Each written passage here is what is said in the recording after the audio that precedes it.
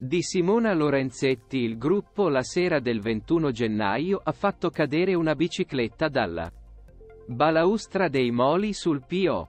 Colpendo un giovane studente di medicina in testa il processo con rito abbreviato contro i tre minori, due ragazzi e una ragazza, che la sera del 21 gennaio 2023 insieme ad altri due amici lanciò una bicicletta dalla testa colpendo uno studente di medicina in bicicletta Mauro Glorioso.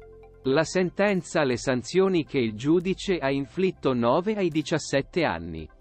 Anni 4 mesi al quindicenne e 6-8 alla ragazza di 16 anni.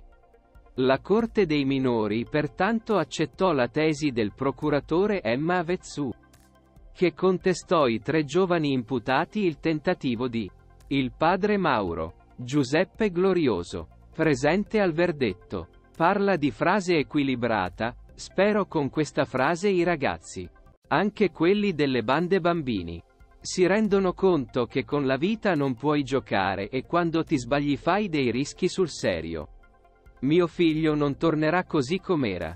Ma i ragazzi devono capire che le azioni hanno conseguenze. Una frase tristemente esemplare. È il commento dell'avvocato Domenico Peila che assiste il quindicenne. Ma sicuramente questo è un verdetto che renderà qualcuno a suo agio. Per l'avvocato Michele Ianniello che assiste il diciassettenne la relazione giudiziaria non si finisce lì. Il ragazzo ha letto una lettera in cui spiega di provare disgusto e vergogna e chiede di avere una seconda possibilità per dimostrare che non è il mostro che è stato descritto. In particolare, Magistrato aveva chiesto 13 di prigione il 17 e 9 per ragazzo di 15 e la ragazza. Il processo ebbe luogo con rito abbreviato. L'episodio risale al 21 gennaio di quest'anno. I cinque amici, dopo aver trascorso una serata tra i locali della vita notturna di Torino, hanno raccolto una bici elettrica lanciandola dalla lunga balaustra di Ca Corna. Nel campo alla base di Mauro Glorioso era al Mauro Glorioso Termina con alcuni amici in spiaggia.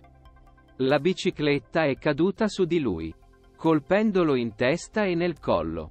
Il giovane è ancora ricoverato in ospedale in un lungo centro ospedaliero. Oltre ai minori, che rispondono al tentativo di c'è un ragazzo di 18 anni in prigione, mentre un'altra ragazza è sotto arresto domiciliare.